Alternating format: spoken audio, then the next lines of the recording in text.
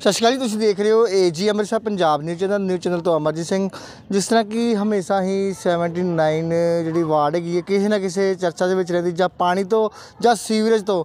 ਪਰ ਅੱਜ ਜੇ ਗੱਲ ਕਰੀਏ, ਇਸ ਵਾਰਡ ਦੇ ਇੰਚਾਰਜ ਮੈਡਮ ਪੂਜਾ ਵੱਲੋਂ, ਜਿਹੜੀ ਕਿ ਇੱਕ ਗਲੀ ਦੀ ਤਿਆਰੀ ਕਰਾਈ ਜਾ ਰਹੀ ਹੈ, ਤੇ ਉਹ ਇਸ ਟਾਈਮ ਸਾਡੇ ਨਾਲ ਮੌਜੂਦ ਨੇ। ਤੇ ਉਹਨਾਂ ਕੋਲ ਆਪਾਂ ਜਾਣਦੇ ਕਿ ਜਿਹੜੇ ਕਿ ਅੱਜ ਇਸ ਟਾਈਮ ਤੇ ਗਲੀ ਬਣਦੀ ਪਈ ਹੈ, ਉਹ ਕੀ ਕਹਿਣਾ ਚਾਹੁੰਦੇ ਆ? ਤੇ ਗੱਲਬਾਤ ਕਰਦੇ ਆ। ਹਾਂਜੀ ਮੈਮ, ਸਤਿ ਸ਼੍ਰੀ ਅਕਾਲ ਜੀ। ਸਤਿ ਸ਼੍ਰੀ ਅਕਾਲ ਜੀ। ਮੈਮ ਜਿਹੜੀ ਕਿ ਇਹ ਗਲੀ ਤੁਹਾਡੀ ਤੁਹਾਡੇ ਇਸ ਇਲਾਕੇ ਦਾ ਬਹੁਤ ਜਿਹੜਾ ਪਾਣੀ ਦੇ ਹਾਲਾਤ ਜਾਂ ਫਿਰ ਸੀਵਰੇਜ ਦੇ ਹਾਲਾਤ ਤੇ ਗਲੀਆਂ ਦੀਆਂ ਜਿਹੜੀਆਂ ਟੁੱਟੀਆਂ ਸੀ ਆ ਜਿਹੜੀ ਤੁਹਾਡੀ ਗਲੀ ਬਣਦੀ ਪਈ ਹੈ, ਕੀ ਕਹਿਣਾ ਚਾਹੁੰਦੇ ਹੋ? ਦੇਖੋ ਜੀ, ਇਹ ਨਾ ਕਾਫੀ ਸਾਲਾਂ ਦੇ ਵਿੱਚੋਂ ਬੰਦ ਪਿਆ ਸੀ ਇਲਾਕਾ। ਇਸ ਇਲਾਕੇ ਵੱਲ ਕੋਈ ਦੇਖ ਕੇ ਰਾਜੀ ਨਹੀਂ ਸੀ ਪਿਛਲੀਆਂ ਸਰਕਾਰਾਂ ਦੇ ਵਿੱਚ। ਇਹ ਇਲਾਕਾ ਇੱਕ ਨਰਕ ਭਰੀ ਇੱਥੋਂ ਦੇ ਲੋਕ ਜ਼ਿੰਦਗੀ ਜੀ ਰਹੇ ਸੀ। ਪਰ ਹੁਣ ਜਦੋਂ ਆਮ ਪਾਰਟੀ ਦੀ ਸਰਕਾਰ ਆਈ ਹੈ, ਅਸੀਂ ਉਹਨਾਂ ਨੇ ਇਹ ਇਲਾਕਾ ਦਿਖਾਇਆ, ਉਹਨਾਂ ਨੇ ਦੌਰਾ ਕੀਤਾ ਇਸ ਇਲਾਕੇ ਦੇ ਵਿੱਚ ਆਣ ਕੇ। ਤੇ ਉਹਨਾਂ ਨੇ ਸੱਚਮੁੱਚ ਦੇਖਿਆ ਕਿ ਇੱਥੇ ਲੋਕੀ ਬੜੇ ਹੀ ਬੁਰੇ ਤਰੀਕੇ ਨਾਲ ਆਪਣੇ ਜੀਵਨ ਬਤੀਤ ਕਰ ਰਹੇ ਨੇ। ਔਰ ਉਹਨਾਂ ਨੇ ਆਣ ਕੇ ਜਦੋਂ ਦੇਖਿਆ, ਔਰ ਉਹਨਾਂ ਨੇ ਥੋੜੇ ਦਿਨਾਂ ਦੇ ਵਿੱਚ ਵਿੱਚ ਹੀ ਉਹਨਾਂ ਨੇ ਇਹ ਇਸ ਗਲੀ ਮਹੱਲੇ ਦਾ ਕੰਮ ਸਟਾਰਟ ਕਰਵਾ ਦਿੱਤਾ। ਔਰ ਅੱਜ ਜੋ ਵੀ ਇਸ ਗਲੀ ਦੇ ਵਿੱਚ ਕੰਮ ਚੱਲ ਰਿਹਾ, ਉਹਨਾਂ ਦੀ ਬਦੌਲਤ ਚੱਲ ਰਿਹਾ ਆ। ਜੀ। ਤਾਂ ਕਿ ਸਭ ਤੋਂ ਪਹਿਲੇ ਪਾਣੀ ਦੀ ਜਿਹੜੀ ਸਮੱਸਿਆ ਹੈ ਜਾਂ ਸੀਵਰੇਜ ਦੀ ਸਮੱਸਿਆ ਹੈ ਉਸ ਨੂੰ ਹੱਲ ਕੀਤਾ ਜਾਂਦਾ।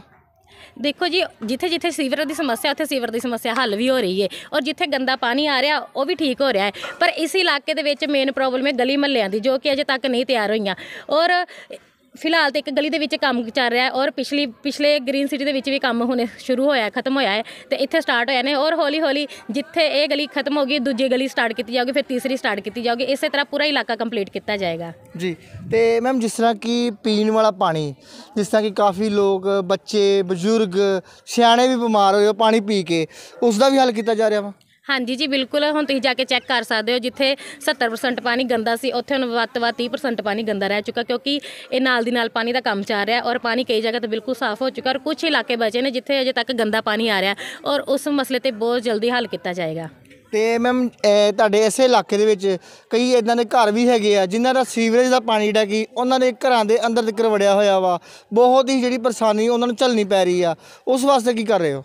ਉਸ ਵਾਸਤੇ ਵੀ ਕੰਮ ਹੋ ਰਿਹਾ ਆ। ਤੁਹਾਨੂੰ ਜਿਵੇਂ ਕਿ ਮੈਂ ਦੱਸਿਆ ਹੈ ਕਿ ਇੱਥੇ ਆਣ ਕੇ ਸਾਰਾ ਉਹਨਾਂ ਨੇ ਇਲਾਕਾ ਚੈੱਕ ਕੀਤਾ ਹੈ। ਇਕੱਲੇ ਇਸ ਇਲਾਕੇ ਦੇ ਵਿੱਚ ਨਹੀਂ, ਹੋਰ ਵੀ ਇਲਾਕਿਆਂ ਦੇ ਵਿੱਚ ਇਹ ਸਮੱਸਿਆ ਆ ਰਹੀ ਹੈ। ਤੇ ਉਹ ਦੇਖ ਰਹੇ ਨੇ ਇਸ ਇਲਾਕੇ, ਇਸ ਸਮੱਸਿਆ ਦਾ ਹੱਲ ਕੀਤਾ ਜਾ ਰਿਹਾ ਔਰ ਕੰਮ ਹੋ ਵੀ ਰਿਹਾ ਇਸ ਮਸਲੇ ਦੇ ਉੱਤੇ।